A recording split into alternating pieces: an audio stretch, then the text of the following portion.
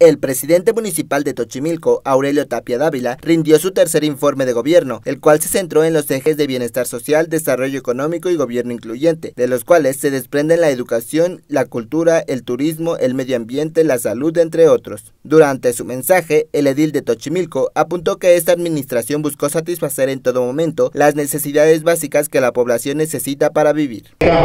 Atendiendo las necesidades básicas como agua potable, luz, drenaje, salud, educación, seguridad pública, apoyos sociales y el campo, como principal fuente de empleo de nuestra gente. Tapia Dávila señaló que ante la adversidad generada por la pandemia de COVID-19, el municipio logró salir adelante, pues el trabajo realizado en conjunto hizo que durante este más de año y medio que llevamos de pandemia, el municipio no haya reportado más de 20 contagios entre sus habitantes. De este municipio estuvo con menos de 20 contagios por más de año y medio Asimismo, dijo que durante este último año de gobierno, uno de los sectores más abandonados por otras administraciones, como lo es el campo, volvió a renacer, pues este es parte fundamental de la economía de muchos tochimilquenses.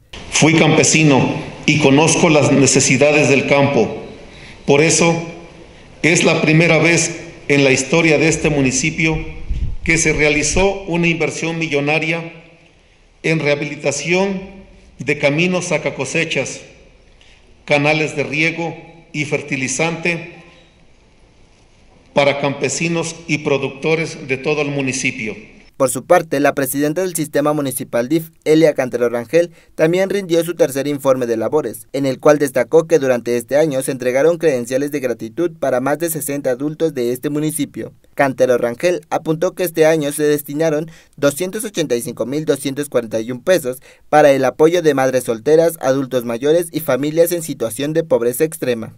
A todos los adultos de 60 años en adelante se les otorga de manera gratuita la credencial de la tercera edad. En este año se destinó la cantidad de 285.241.64 pesos para apoyos económicos directos a madres solteras, personas de la tercera edad y familias en situación de pobreza extrema. Asimismo, Elia Cantero reiteró que seguirá dando continuidad a todos los proyectos que queden pendientes en esta administración, pues dijo que la pandemia ha jugado un papel clave para el desarrollo de muchas de ellas.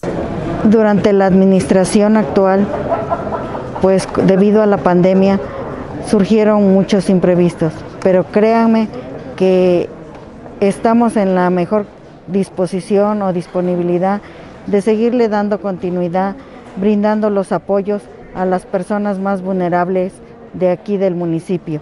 Finalmente, Elia Cantero Rangel agradeció a todo el equipo por su gran labor realizada durante este año. Asimismo, ratificó su compromiso para seguir ayudando a todo el pueblo de Tochimilco. Aumentar las matrículas como tal, aumentar la matrícula tanto de, los programas de los desayunos fríos, calientes, aumentar la matrícula en entregas de despensa de los diferentes programas.